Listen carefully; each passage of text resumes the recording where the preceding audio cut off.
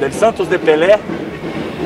El que pasa que el Santos le prometió muchas cosas, que iba a contratar jugadores, que iba eso, que iba eso, y no pasó nada. Y el entrenador no foi cessado, ele pediu para sair, não? Tenho muita confiança nele.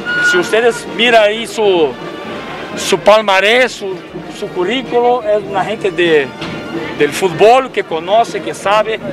Então já queria acalmá-los aí por essa situação que ha passado aí em Brasil, ok? ¿Tiene tu visto bueno Ariel Holland entonces, Tita?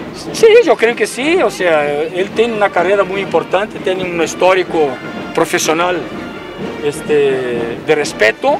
Entonces hay que dar confianza al Club León que decidió escogerlo para ser el entrenador del Club León.